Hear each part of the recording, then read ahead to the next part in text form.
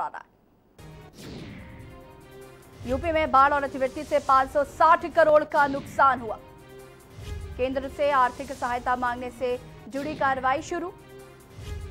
अनुमोदन का प्रस्ताव मुख्यमंत्री को भेजा गया। करीब 48 जिलों में हुआ करोड़ों का नुकसान। बड़ी खबर आपको बता रहे हैं। प्रदेश के 75 में से बहत्तर जिलों की रिपोर्ट आई। किसानों की फ़सल का बड़े पैमाने पर नुकसान हुआ। 1300 गाँव में हुआ करोड़ों का नुकसान। बड़ी खबर आपको बता रहे हैं सीएम योगी ने डीएम को आकलन जारी करने के दिए थे आदेश। यूपी में बाढ़ और अतिवृष्टि से 560 करोड़ का नुकसान हुआ। केंद्र से आर्थिक सहायता मांगने से जुड़ी कार्रवाई शुरू की गई।